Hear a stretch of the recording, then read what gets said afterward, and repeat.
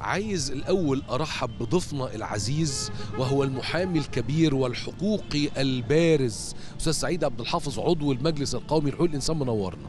أستاذ يوسف أنا مبسوط جدا إن أنا معاك كالعادة دائما يعني. أنا اللي دايما مبسوط. وحشني شرف ليا. الدنيا. ربنا يخليك يا أستاذ يوسف. شرف ليا. سعيد يعني ما بين الدفاع عن حقوق المصريين وذهابا ووصولا إلى عضوية المجلس القومي لحقوق الإنسان عايز أرجع مع حضرتك بذهننا وبذكرياتنا لوضع حقوق الإنسان في مصر قبل 30 ستة كانت عاملة إزاي؟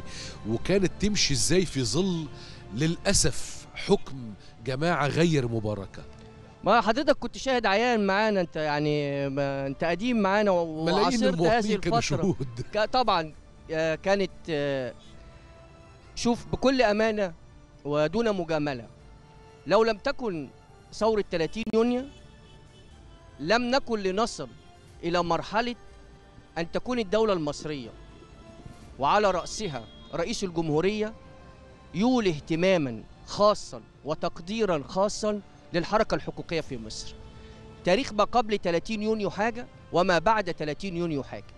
وأنا عشان يعني بعيدا عن التفاصيل الدعوة لتغيير قانون الجمعيات سنة 2017 كانت بدعوة مبادره من السيد رئيس الجمهورية بس إحنا بننسى حلو. وطلب من مجلس النواب في رسالة مقتضبة أن يعيدوا النظر في هذا القانون لأنه يغضب الكثيرين. وتعدل القانون الحالي بمبادرة رئاسية. الأمر الثاني لدينا استراتيجية وطنية لحقوق الإنسان وثيقة. لأول دولة في العالم تقريبا تلزم نفسها لمدة خمس سنوات ببنود محددة في محاور أربعة تقول أنا هعمل خلال خمس سنين واحد اتنين تلاته أربعة خمسة. وهذا يعني أنها فتحت الباب أمام كل مواطن ليحاسب الدولة على ما التزمت به في الوثيقة.